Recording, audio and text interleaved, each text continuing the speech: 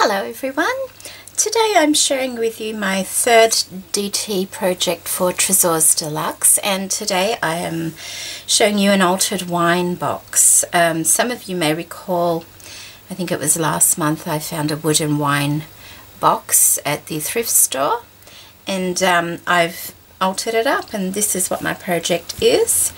I first covered it all in book paper, decoupaged it, went over the top of it um, with a clear matte finish but I left the actual black lid um, because I like the effect it gave. I've, these aren't normal colours that I would use in a project but I'm quite happy with how it turned out. It's, um, I guess a lot of people would call this mm, like a Parisian type look um, with the pinks and the blacks. To me, well, you know, I just like it. I think it's a blinged up box. So what I've done on the top here, I have a lovely lace and unfortunately I can't really show you many of the laces I've used because I pretty well use them all on this um, on this project. So I, I, will show you what I have, but um, apart from that, you know, it's going to be a bit difficult.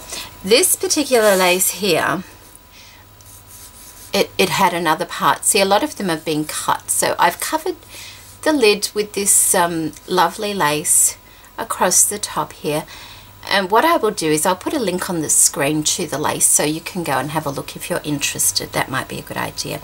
So I've put one strip going one way and one strip going the opposite way.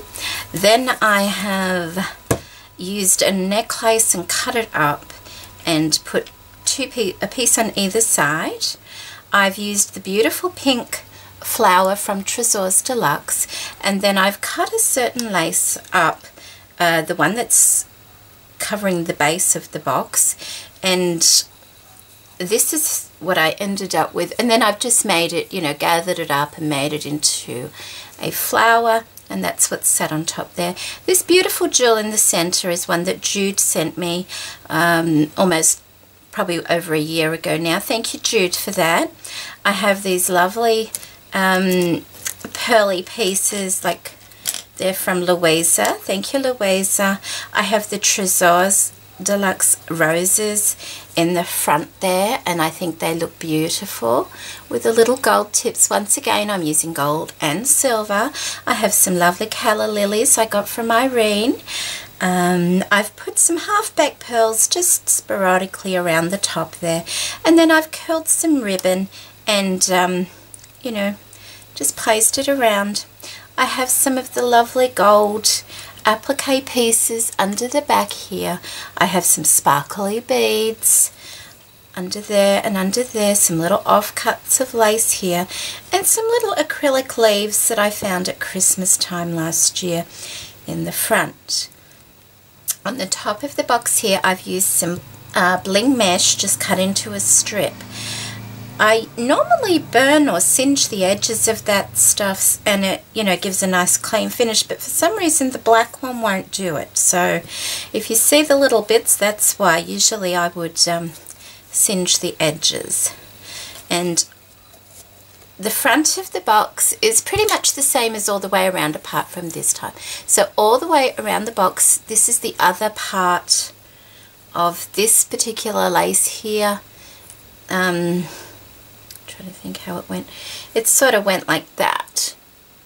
And this is the lace I referred to as a mermaid lace when I first got my DT package. So that goes all the way around the box. I have a bit of black ribbon around the base that Jean sent me. Thank you, Jean.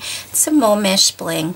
A jewellery piece just cut up and placed around the lock, but a little bit of a distance away because we need to be able to comfortably open the lock. I have this gorgeous leaf trim here that I absolutely adore on either side and also this beautiful one which I do have some left if I can just find it. Here we go.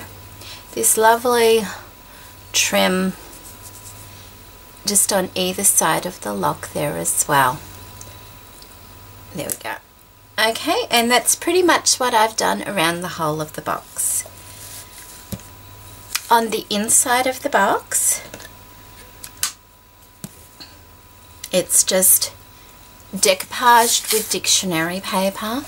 On the base there I've used this part here is the rest see the top part of this lace here.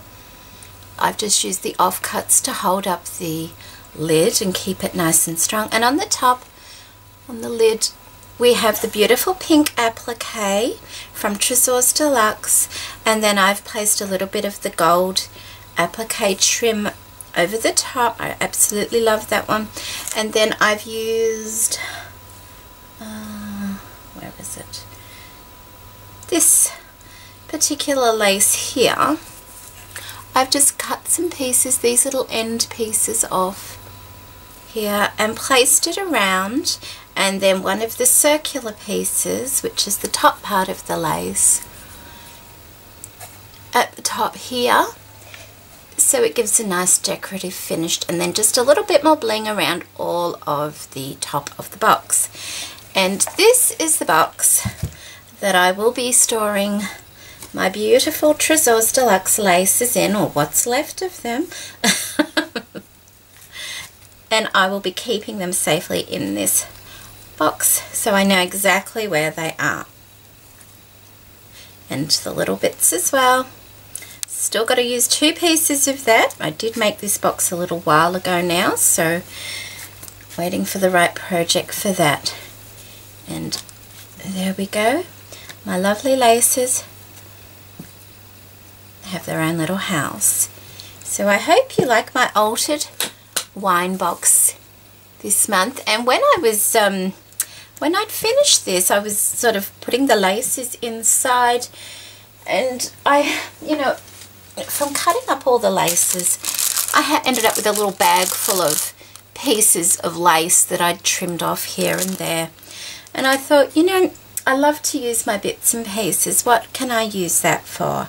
And so I made something and I will just get it for you and show you.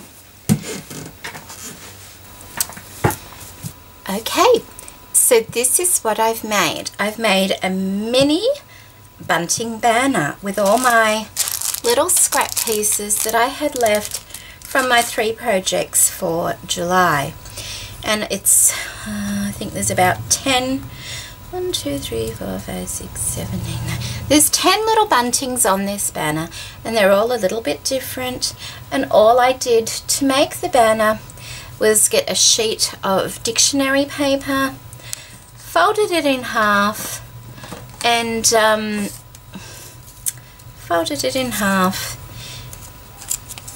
and cut out a triangle a triangle sorry of that size it's only tiny and then I opened up the triangle and got a little bit of this netting curtain netting and put it inside glued it shut and then just trimmed it and left it about a centimeter around the edge uh, and then I just decorated it ran a strip of ribbon across the back and a little loop and bow at either end and it was done.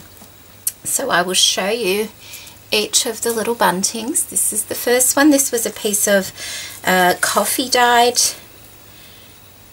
um, trim from that lovely fleur-de-lis piece that I had so I popped it there on each of the buntings I've used some silver gl glass glitter and then some mixed um, very small beads that I found at a thrift store so that keeps them all in common that way. On each center part I've just got a little button that I've um, glued on there and that's the next one same sort of thing just some glitter glass and some beading in odd spots around it and there's that fleur-de-lis once, once again and the little mermaid tail at the bottom. This is a little love heart that Maggie sent me. Thank you, Maggie.